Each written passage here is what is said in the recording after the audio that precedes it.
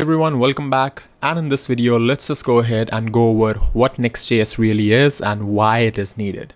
So Next.js is a wrapper to speak as of, you know, in, in the in the simplest terms. I would say Next.js is a wrapper around React framework, which enables your React code to pre-render, which enables your React code to run on the server. What do I mean by that? Well, you see when you're working with a React website, um, which is just the client-side JavaScript code. What happens, the process is that firstly, your client will, down, will download the code from the server, then that JavaScript code would be executed by the browser, and then you're gonna see um, the actual output on the screen, the actual HTML elements and divs and all that. But if you take a look at sites which are built with Next.js, what you're gonna see is that if you go to view source, you could pretty much see all the content within the HTML document itself, right?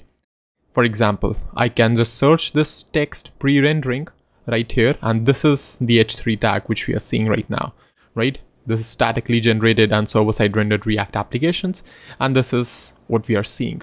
So you see that in this case, in the case of Next.js, the server is actually sending you the HTML itself. But in case of React applications, the server sends you JavaScript bundles, which is then executed by the browsers, and then the uh, the output is displayed to the user. Now, this is one of the many benefits Next.js brings in, but this is the most important one, right? Everything else, you know, zero configuration, fully extensible, static exporting, let's just leave that because that is also sort of pre-rendering only. CSS and JS ready for production. All these are actually possible with just React as well.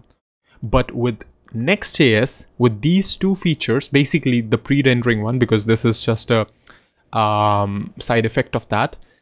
But because of pre-rendering, it opens a lot of doors for performance, for SEO, for caching, stuff like that. And it is it is awesome. The only thing which Next.js truly does, which, which makes all the difference, is this thing. That is server-side rendering of React code on the server so that your server actually sends HTML instead of JavaScript bundles on your screen. So this is what Next.js is about in a nutshell. And uh, yeah, that is that's why I wanted you to have a basic understanding of React because in Next, we'll be following certain practices set by the framework. We'll be so following certain patterns, certain design patterns, but for the most part, because we are writing React code itself, the principles, the underlying principles remain same. So yeah, that's pretty much it for this video. Hopefully you understood the difference between Next and React and why it is needed. Um, we'll come to performance benefits, SEO, you know stuff like that later on in the series because that's technically not related to the coding part directly.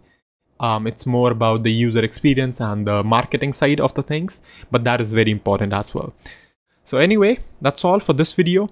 If you liked it let's just move on to the next one really quick